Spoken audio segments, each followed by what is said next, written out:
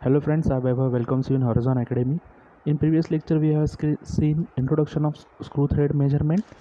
After that type of screw thread, uses of screw thread, terminology of screw thread and its different definitions like what is pitch, what is lead, what is crest, what is major diameter, minor diameter. Eh, all these terminologies or definitions we have seen.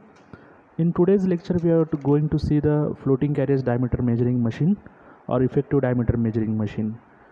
Uh, you can see the diagram of this uh, floating carriage diameter measuring machine. The basic working principle of this uh, floating carriage diameter me- measuring machine is this. कि inside this drum there is a one uh, mm, uh, screw is there and uh, on this drum there is one nut.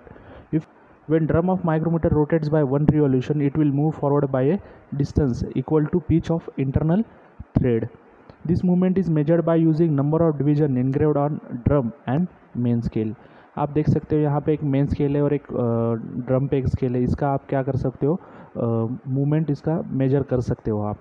इसका ये basic working principle है। अभी ये use कहाँ पे होता है? जैसे मैंने यहाँ पे दिखाया आपको, आप देख सकते हो यहाँ पे एक थ्रेड प्लग गेज है। थ्रेड प्लग गेज कहाँ पे यूज़ होता है? कंसिडर करो आपका एक वर्क पीस है, जिसके अंदर यहाँ पे एक होल है और यहाँ पे अंदर थ्रेडिंग है। ठीक है।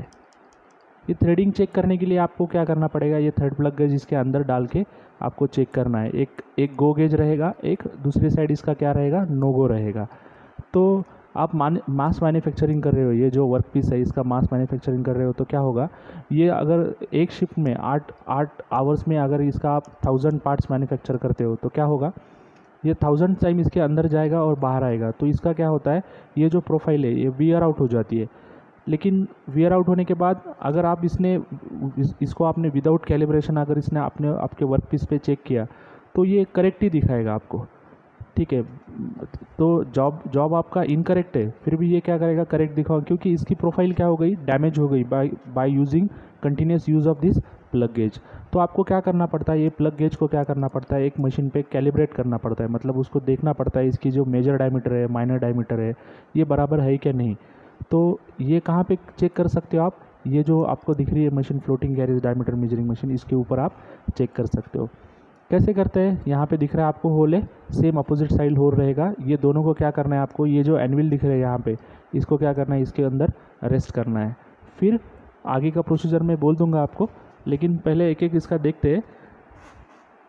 The instrument used for accurate measurement of thread plug gauge, gauge dimensions such as major diameter, effective diameter, minor diameter are measured with the help of this instrument. All these dimensions have a vital role in the thread plug gauge. Since the accuracy and interchangeability of the component depends upon the gauge used. To reduce the effect of slight error in micrometer screw and measuring faces, the micrometer is basically used as comparator. अभी इसका construction कैसे है वो पहले देख लेते हैं कि ये जो मशीन है इसका कंस्ट्रक्शन तो आप देख सकते हो यहाँ पे जो ये बेसिक पार्ट जो दिख रहा है इसका, ये आपका बॉडी है ये ग्रे कास्ट आयन का बॉडी है, ये रोबोस्ट कंस्ट्रक्शन है इसका बेस उसके बाद आपका ये ये जो दिख रहा है, ये क्या आपका फ़र्स्ट कैरियज है। सॉरी ये आपका जो बॉटम का बेस है, वो आपका फ़र्स्ट कैरिएज है, ये आपका सेकंड कैरेज है। और इसके ऊपर एक और एक कैरेज है, इसको आप क्या थर्ड नाम दे दो। ऐसे तीन यहाँ पे कैरेज है।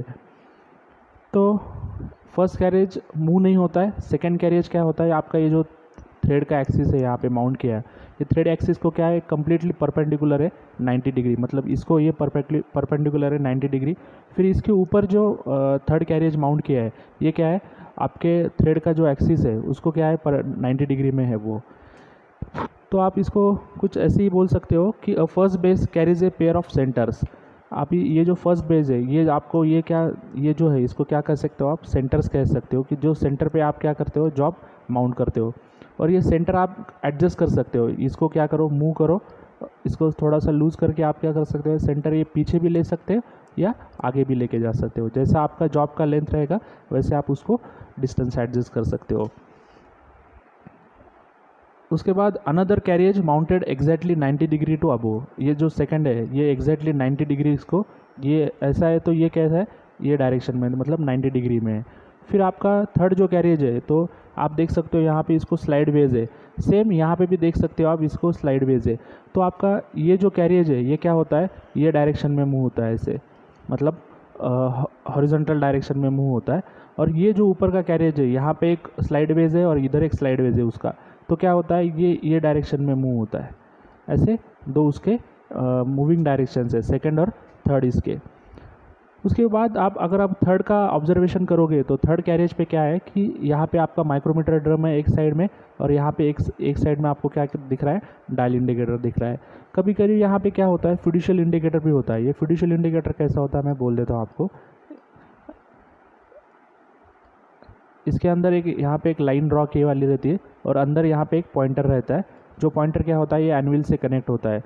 तो ये फिडिशियल इंडिकेटर का काम क्या है कि जैसे आप इसके ऊपर ड्रम रोटेट करोगे रोटेट करने के बाद क्या होता है कि यहाँ पे कंसिडर करो आपका जॉब है और यहाँ पे ड्रम का एनविल है। जैसे माइक्रोमीटर के दो एनविल होते हैं सेम वैसे इसके एनविल है। यहाँ पे माइक्रोमीटर का एनविल है, यहाँ पे फिडिशियल इंडिकेटर का एनविल है। और इसके बीच में क्या होता है आपका जॉब होता है यहाँ पे। तो एक कांस्टेंट प्रेशर पे आपका मेज़रमेंट होना चाहिए। इसकी वजह से क्या है, ये फ्लूडिश इंडिकेटर है। जब आप इसको रोटेट करोगे माइक्रोमीटर को रोटेट करोगे और जॉब को टच हो जाएगा और एक कांस्टेंट प्रेशर आएगा तो क्या होगा, इसको आपको क्या करना है, कभी भी मेज़रमेंट करते टाइम क्या करना है, ये एरो को क्या करना है आपको, ये सेंटर में रखना है और सेंटर में रख के ही मेज़रमेंट करना है। मतलब किसी ने अगर मेज़रमेंट किया तो उसको क्या करना है एरो सेंटर में रख के मेज़रमेंट करना है। मतलब ये रोटेट को इतना रोटेट करो कि क्या हो जा, होना चाहिए, ये आपका जो एरो है सेंटर में आना, तब वहाँ पे आपको रुकना है।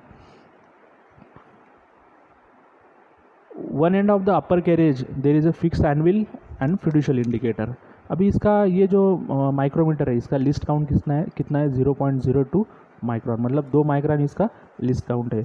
अभी इसको मेजर करते टाइम आपको कैसे मेजर करना है? एक मैं इसको पहले रफ कर देता हूँ।